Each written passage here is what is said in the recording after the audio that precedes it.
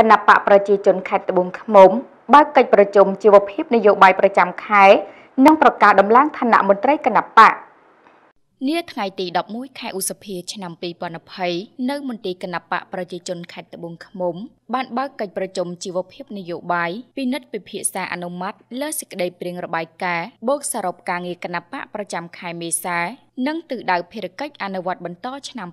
2020និងប្រកាសតែងតាំងដំឡើងឋានៈមន្ត្រីគណៈបកខេត្ត កិច្ចប្រជុំនេះធ្វើឡើងក្រោមអធិបតីភាពអាយុដំសៀលេងប្រធានគណៈកម្មាធិការគណៈបកប្រជាជនខេត្តត្បូងឃ្មុំដោយមានការចូលរួមពីសំណាក់អាយុដំលោកជំទាវលោកលោកស្រី ដែលជាសមាជិកសមាជិកគណៈកម្មាធិការគណៈបកខេត្តសរុបជាង70រូបในឱកាសនោះ ឯកឧត្តមសៀកលេងបានមានប្រសាសន៍ថាកិច្ចប្រជុំនេះធ្វើឡើងដើម្បីបុកសរុបត្រួតពិនិត្យពិភាក្សាអនុម័តសេចក្តីព្រៀងពាក់ព័ន្ធនឹងរបាយការណ៍ដែលគណៈបកខេត្តខិតខំអនុវត្តសម្រេចបានក៏ដូចជាបន្តលើកឡើងនៅទិសដៅក្នុងការអនុវត្តបន្តធ្វើយ៉ាងណាឲ្យលទ្ធផលការងារកាន់តែមានប្រសិទ្ធភាពល្អបន្ថែមទៀតក្នុងឱកាសនោះដែរ ឯកឧត្តមយិនគឹមហនប្រធានគណៈចាត់តាំងគណៈបកខេត្តបានអាននៅសេចក្តីសម្រេចស្តីពីការតែងតាំងដំឡើងឋានៈមន្ត្រីគណៈបកខេត្តដែលខិតខំបំពេញការងារយ៉ាងសកម្មនាពេលកន្លងមក នាឱកាសនោះដែរ ឯកឧត្តមសៀកលេងក៏បានផ្ដល់អនុសាសន៍ផ្ដាំផ្ញើដល់សមាជិកសមាជិកា